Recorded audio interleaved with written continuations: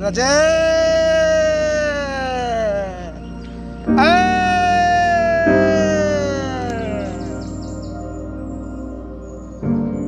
ਓ ਰਾਜਾ ਇੱਥੇ ਆਓ। ਰਾਜਾ ਇੱਥੇ ਆਓ। ਇਹ ਕਹਿ ਕੇ ਇੱਕ ਵਾਰ ਬੁਲਾਇਆ ਤਾਂ ਇਹ ਜੰਗਲੀ ਮੋਰ ਆਲੇ ਦੁਆਲੇ ਦੇ ਜੰਗਲ ਵਿੱਚੋਂ ਭੱਜੇ ਹੋਏ ਆ ਗਏ। ਉਹ ਆਪਣੇ ਚਹੇਤੇ ਵਿਅਕਤੀ ਦੇ ਹੁਕਮ ਦੀ ਪਾਲਣਾ ਕਰਦੇ ਹਨ ਤੇ ਉਸ ਤੇ ਪੂਰਾ ਭਰੋਸਾ ਕਰਦੇ ਹਨ।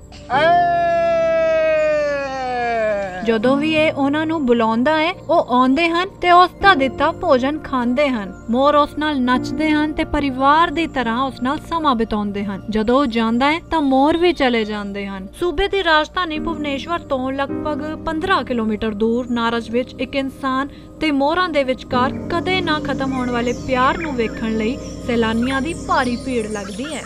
ਇਹ ਕਾਨੂੰ ਬੇਰਾ ਹਨ ਜੋ ਮਯੂਰ ਘਾਟੀ ਦੇ ਵਿੱਚ ਜੂਨੀਅਰ ਪਿਕੌਕ ਮੈਨ ਵਜੋਂ ਜਾਣਿਆ ਜਾਂਦਾ ਹੈ। ਉਹ ਪਾਨੂ ਵੇਰਾ ਦੇ ਪੋਤੇ ਹਨ, ਜਿਸ ਨੂੰ ਪਹਿਲਾਂ ਓਡੀਸ਼ਾ ਦਾ ਮੋਰਮੈਨ ਕਿਹਾ ਜਾਂਦਾ ਸੀ। 1999 ਵਿੱਚ ਭਿਆਨਕ ਚੱਕਰਵਾਤ ਤੋਂ ਬਾਅਦ ਤਿੰਨ ਮੋਰ ਪਾਨੂ ਦੇ ਸੰਪਰਕ ਵਿੱਚ ਆਏ ਤੇ ਪਾਨੂ ਨੇ ਇਹਨਾਂ ਨੂੰ ਬਚਾਉਣ ਦਾ ਫੈਸਲਾ ਕੀਤਾ। ਹੌਲੀ-ਹੌਲੀ ਪਾਨੂ ਦਾ ਇਹਨਾਂ ਜੰਗਲੀ ਪੰਛੀਆਂ ਪ੍ਰਤੀ ਪਿਆਰ ਵੱਧਦਾ ਗਿਆ ਤੇ ਮੋਰਾਂ ਦੀ ਗਿਣਤੀ ਵੀ ਵੱਧਦੀ ਗਈ। ਇਸ ਦੌਰਾਨ ਪਾਨੂ ਦੀ 26 ਮਈ 2017 ਨੂੰ ਮੌਤ ਹੋ ਗਈ। ਇਹਨਾਂ ਮਾਸੂਮ ਪੰਛੀਆਂ ਪ੍ਰਤੀ ਆਪਣੇ ਦਾਦਾ ਦੀ ਵਚਨਬੱਧਤਾ ਨੂੰ ਵੇਖਦਿਆਂ ਕਾਨੂੰ ਨੇ ਉਸੇ ਦਿਨ ਤੋਂ ਇਹਨਾਂ ਜੰਗਲੀ ਪੰਛੀਆਂ ਦੀ ਜ਼ਿੰਮੇਵਾਰੀ ਲੈਣ ਦਾ ਫੈਸਲਾ ਕੀਤਾ।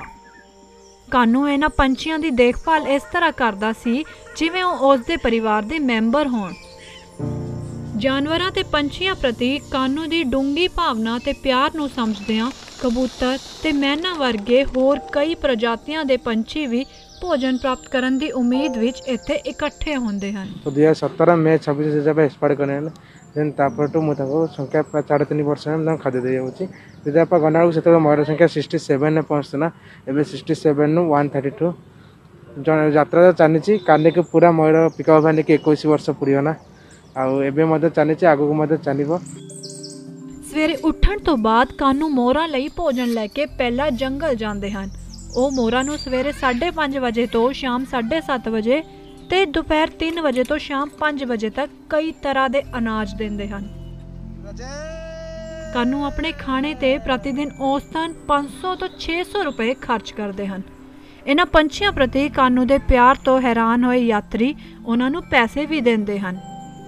ਕਾਨੂੰ ਉਸ ਪੈਸੇ ਦੀ ਵਰਤੋਂ ਮੋਰਾ ਲਈ ਭੋਜਨ ਦਾ ਪ੍ਰਬੰਧ ਕਰਨ ਲਈ ਕਰਦੇ ਹਨ।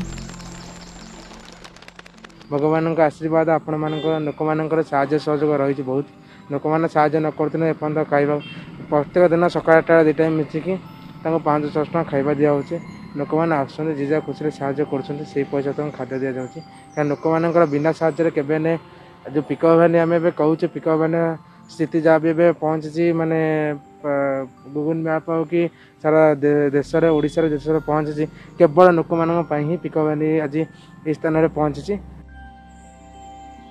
ਇਹ ਬੜੇ ਅਫਸੋਸ ਦੀ ਗੱਲ ਹੈ ਕਿ ਇਹਨਾਂ ਮੋਰਾਂ ਨੂੰ ਕੌਮੀ ਪੰਛੀਆਂ ਵਜੋਂ ਮਾਨਤਾ ਦੇ ਬਾਵਜੂਦ ਰਾਜ ਸਰਕਾਰ ਵੱਲੋਂ ਇਹਨਾਂ ਲਈ ਕੋਈ ਪ੍ਰਬੰਧ ਨਹੀਂ ਕੀਤਾ ਗਿਆ ਹੈ ਬਹੁਤ ਸਾਰੇ ਵਰਗਾਂ ਤੋਂ ਮੰਗ ਕੀਤੀ ਗਈ ਹੈ ਕਿ ਵੱਡੇ ਪੱਧਰ ਤੇ ਮੋਰ ਇਕੱਠੇ ਹੋਣ ਵਾਲੀ ਜਗ੍ਹਾ ਨੂੰ ਸੈਲਾਨੀ ਸਥਾਨ ਤੇ ਇੱਕ ਮੋਰ ਸੁਰੱਖਿਆ ਕੇਂਦਰ ਵਜੋਂ ਐਲਾਨਿਆ ਜਾਵੇ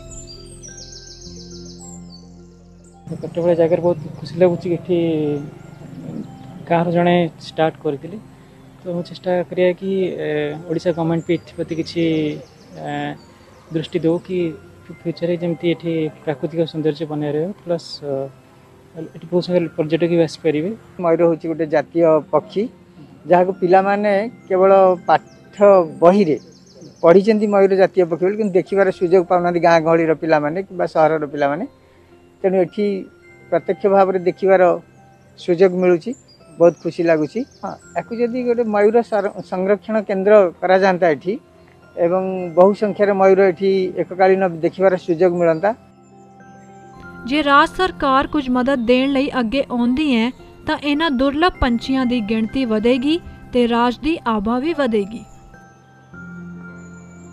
Bureau report ETV Bharat.